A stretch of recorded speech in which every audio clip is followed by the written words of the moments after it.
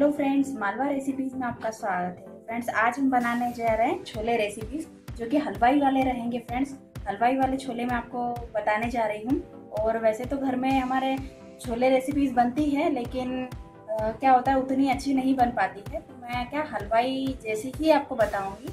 और हलवाई की कुछ अपनी ट्रिक्स होती है तो वो हमें पता नहीं होता है। तो कई सारे लोग बनाते हैं लेकिन उतना मज़ा नहीं आता है। तो वही चीज़ मैं आपको बताने जा रही हूँ कि हलवाई की क्या क्या ट्रिक्स होती है। तो आइए मैं सामग्री बता देती हूँ। फ्रेंड्स रेसिपीज़ बताने से पहले आपको बता दूँ कि अगर अभी तक आपने हमारा मालवा रेसिपी चैनल सब्सक्राइब नहीं किया है तो इस वीडियो के नीचे दिए गए राइट बटन पर क्लिक करके सब्सक्राइब कर ले और पास में दी गई बेल आइकन को भी क्लिक कर ले ताकि आपको हमारी आने वाली हर रेसिपी की इंफॉर्मेशन मिलती रहे। सामग्री में मैंने फ्रेंड्स लिए हैं। जो वाइट चने होते हैं, इसे काबुली चने भी बोलते हैं, डालर चने भी बोलते हैं कहीं जगह में। तो ये मैंने रात से भिगोए हैं, सुबह में बनाने जा रही हूँ। मैंने ऐसे 200 ग्राम लिए हैं। दो, आप मेज़रमेंट करें तो दो कटोरी भी ले सकते हैं। आप जितना भी क्वांटिटी में बनाना चाहें, और मैंने इसे छोटे से छोटे छोटे आलू जो है चार आलू छील के रखे। अगर आपके घर में कोई आलू ज़्यादा पसंद करते हैं तो आप इसे डाल भी सकते हैं अवॉइड भी कर सकते हैं। तो मैंने इसे रात को भिगोया था, इसमें मैंने कुछ कोई सी चीज़ ऐड नहीं की है।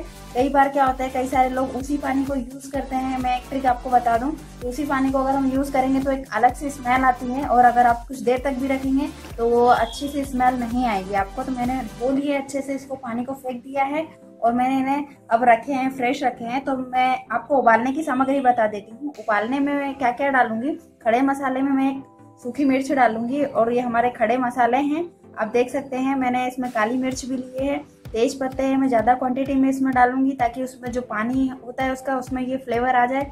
और एक चम्मच इसमें नमक ऐड करूँगी और मैंने इमली लिया है। बहुत सारे लोग चाय पत्ती डालते हैं, वो सिर्फ़ कलर आता है और कुछ चाय आप जानते हो कि चाय एक अलग चीज़ है और खाना अलग चीज़ है तो मैं इसमें इमली का ऐड कर रही हूँ ताकि इसमें खट्टापन भी आएगा और इसमें कलर भी आएगा, फ्रेंड्स। तो आइए मैं आपको उबालने का प्रोसेस बता देती हूँ। हम गैस ऑन कर देते हैं सबसे पहले।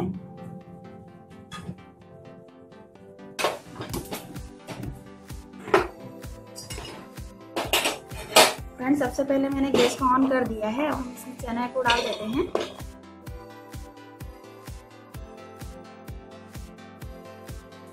अब मैं इसमें एक लोटा पानी ऐड कर रही हूँ।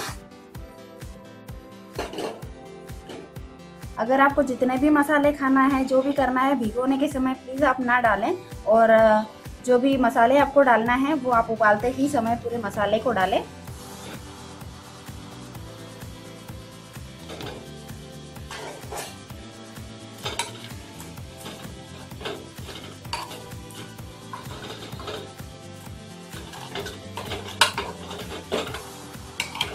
डाल दिया है, अब अच्छे से हिला दूँगी पहले जो कि हमारे मसाले हैं, वो अंदर चले जाए। हमने इमली डाली है तो इसका क्या खट्टापन भी आएगा और इसका कलर भी आएगा फ्रेंड इसे अंदर की तरफ़ हम कर देते हैं, फिर हम इसका ढक्कन बंद कर देंगे। पानी एकदम ज़्यादा मैंने नहीं डाला है।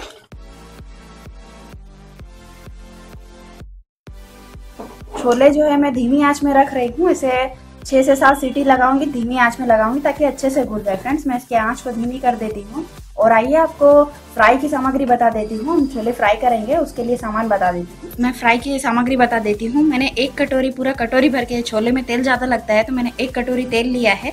एक कटोरी पीसी हुई प्याज है। एक आधी कटोरी मतलब जो टमाटर है, मैंने आधी कटोरी लिए हुए फ्रेंड्स आप चाहे तो पूरा भी ले सकते हैं, लेकिन मैं आपको बता रही हूँ कि आपको हलवाई वाले ट्रिप्स बता रही हूँ। तो मैंने आधी कटोरी सॉस भी लिया है, जो टमाटर सॉस है, आप देख सकते हैं, टमाटर सॉस मैंने आधी कटोरी लिया है, और दो चम्मच मैंने अदरक, लहसुन का कूटा हुआ पेस्ट लिया हुआ है, जो दो चम्मच है, आप देख सकते हैं, धनिया पत्ती है, और इसमें ये जो आप देख रहे हैं, पीसा हुआ मसाला है मेरा, मैंने इसमें एक चम्मच तो तिल लिया हुआ है, जिसको मैंने कूटा है। और एक चम्मच जो खसखस के दाने होते हैं, वो भी इसमें मैंने ऐड किए हुए हैं। और एक चम्मच मैंने फली दाने ऐड किए हैं। मतलब ये तीन चम्मच मसाला है। जो तीनों अलग अलग चीज़ें हैं इसमें, आप देख सकते हैं। और मैंने कूट के रखी हुई है। और बाकी आप देखेंगे तो मैंने एक चम्मच खड़ा धनिया लिया है, एक चम्मच जीरा है, एक चम्मच धनिया पाउडर है, एक चम्मच मैंने जो छोला मसाला होता है, एक चम्मच लिया हुआ है। और मैंने तेज पत्ते उबालने में भी डाले हैं और मैं फ्राई में भी डालूँगी। दो मैंने तेज पत्ते लिए हुए, काली मिर्च है, चार से पाँच काली मिर्च है। और ये आप देखेंगे तो ये रतन जोत है, जो कि इससे हम छोले में अगर डालते हैं तो इसका कलर आ जाता है और काफ़ी अच्छा दिखता है। मैंने रतन जोत ली हुई आप मार्केट में पता कर सकते हैं, ये कलर देती है, बहुत अच्छा कलर आता है इससे तो ये रतन जोत है और मैंने चार छोटे चम्मच रेड मिर्ची ली हुई है, जो रेड कलर की है, एकदम रेड दिखना है इसमें अगर तरी नहीं आएगी, अगर इसका कलर अच्छा नहीं होगा तो। एक चुटकी मैंने हींग ली हुई है और एक चम्मच मैंने नमक लिया है। एक चम्मच मैंने उसमें भी डाल दिया है, उबालने में भी, और एक चम्मच हम यहाँ पर भी यूज़ करेंगे। और हल्दी जो है, मैं एकदम कम डाल लूँगी, आधी चम्मच मेरा हल्दी है, जो कि एकदम हल्का सा डालना है, ताकि उसका टेस्ट भी आए। कई लोग नहीं भी डालते हैं, लेकिन मैं इसमें डालूँगी। और यहाँ पे देखेंगे तो दो चम्मच मैंने नारियल लिया हुआ है, जो कि सूखा नारियल है। एक इंच नारियल था ये, मैंने कीसा तो दो चम्मच आप देख सकते हैं। दो चम्मच ये सूखा नारियल है। ये हमारा फ्राई का सामान है तो हमारे छोले अभी उबल रहे हैं। अभी हम इंतज़ार करते हैं। पाँच से छः उसकी सीटी आएगी, धीमी आँच मैंने रख दिया है, तब हम फ्राई करेंगे तो फ्रेंड्स, हमारे जो छोले हैं, मैंने पाँच सीटी कर लिए धीमी आँच में। अब हम इसको चेक कर लेते हैं कि किस टाइप से बॉईल हुए हैं।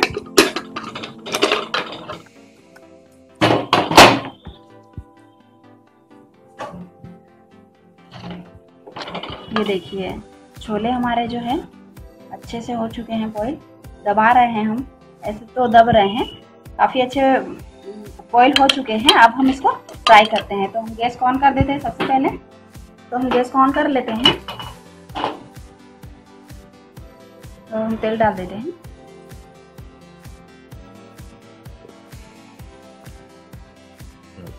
तेल हमारा गरम हो रहा है, इसको चेक कर लेते हैं।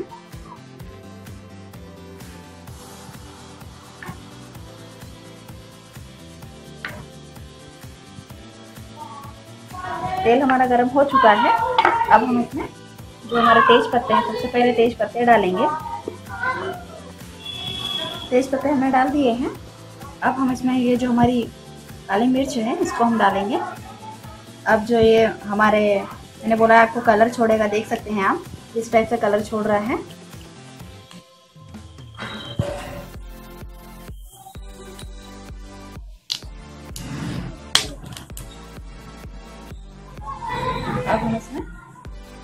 जीरा और जो खड़ा हमारा दिए हैं इसको हमने डाल दिया है।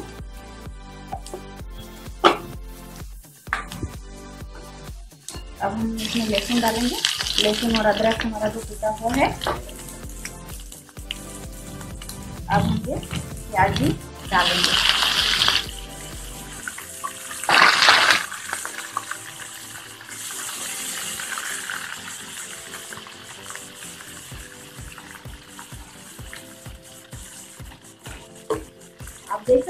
रतन जोत का यूज़ किया है इसका कलर काफ़ी अच्छा हो गया है। अब मैं इसे धीमी आँच में प्याज को पका लेते हैं।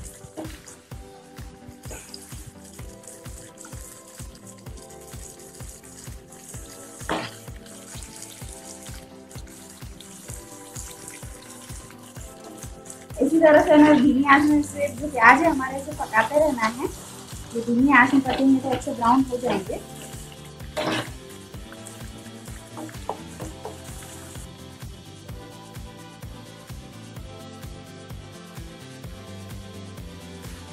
प्याज का कलर हमारा चेंज हो गया है फ्रेंड्स देख सकते हैं आप यहाँ पे कढ़ाई में ये लग गया है। यहाँ पे इससे आप देख सकते हैं, यहाँ से ब्राउन हो चुका है ये काफ़ी अच्छा हो गया है ब्राउन अब हम इसमें जो हमारे ये मसाले हैं, इसको ऐड करेंगे। तो आप देख रहे हैं, तिल और मूँगफली के दाने और मैंने खसखस के दाने लिए हैं, वो मैंने इसमें अब ऐड कर दिए हैं। अब मैं आँच को फूल कर दूँगी और टमाटर का जो हमारा पेस्ट है इसको डाल दूँगी।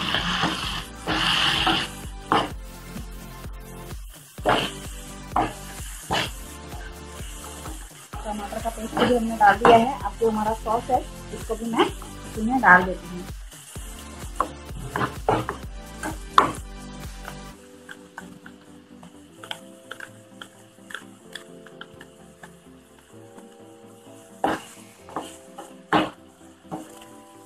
अब हमें इसे और पाँच मिनट तक और पकाएँगे, क्योंकि तो ये जो इसका जो पानी होता है, जो हमारा टमाटर का पेस्ट है, ये उड़ जाएगा, तब तक अच्छे से सूखेगा। तब तक कि हमें इसे पकाना है। ये जब तेल छोड़ेगा, तब हम इसमें बाकी चीज़ का यूज़ करेंगे। तो हमारी जो मैंने ये टमाटर प्यूरी डाल दी है, अब इसे पाँच मिनट हो चुके हैं। ये तेल को छोड़ने लग गया है, अब जो बाकी कुछ मसाले बचे हैं, वो मैं इसमें डाल देती हूँ। मेरी जो हिंग है, मैंने पहले इसमें ऐड नहीं की थी, ताकि इसकी खुशबू इसके साथ बनी रहे। एक चुटकी जो हिंग थी, नमक भी अभी मैं ऐड कर रही हूँ। जो हल्दी पाउडर है, इसको भी अभी ऐड करना है। और धनिया पाउडर को भी ऐड करना है। और ये जो हमारा सूखा नारियल है, मैं इसे कुछ बचा लूँगी और कुछ इसमें डाल देती हूँ। तो हमने धनिया पाउडर डाल दिया है, अब हम मिर्च भी डाल रहे हैं। मिर्ची पाउडर मैं डाल रही हूँ। मैंने इसमें हरी मिर्च का यूज़ नहीं किया है, इसीलिए मैं लाल मिर्च पाउडर ज़्यादा डाल रही हूँ। आप देख सकते हैं। काफ़ी अच्छा दिख रहा है, अच्छे से भूंज भी गया है। तो हम, हमारे जो मसाले हैं, काफ़ी अच्छे हो चुके हैं, आप देख रहे हैं। अब हम इसमें जो हमारे छोले हैं, इसको डाल देते हैं।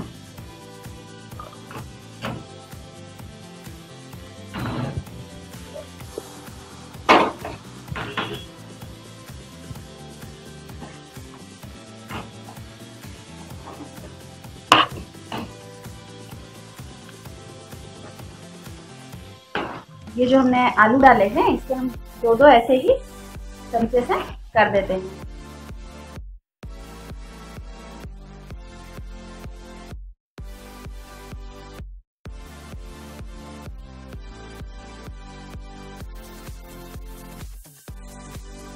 अब हम अच्छे से इसको हिला देते हैं।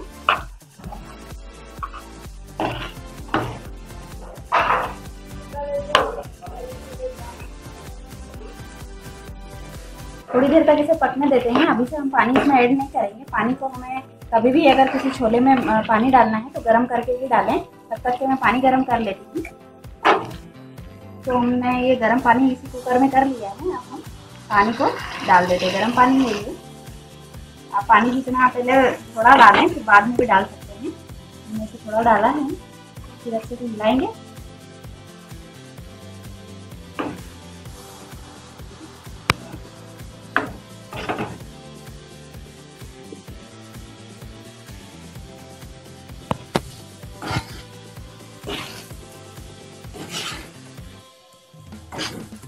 और पानी हम इसमें ऐड कर रहे हैं। एकदम ज़्यादा भी नहीं करना है पानी और एकदम कम भी नहीं रखना है। हम इसको पूरा भर देते हैं।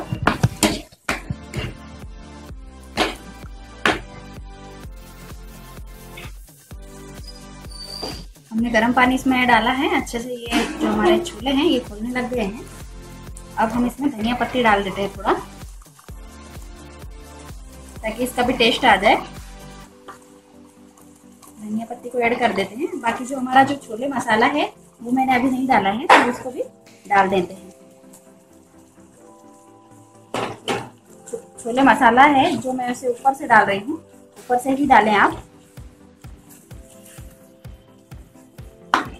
ताकि उसकी खुशबू भी बनी रहे और उसका टेस्ट भी अच्छा आता है। अगर पहले से डालेंगे तो उतना अच्छा टेस्ट नहीं आएगा। छोले हमारे पक चुके हैं, अच्छे से आप देख सकते हैं, ग्रेवी भी काफ़ी अच्छी दिख रही है।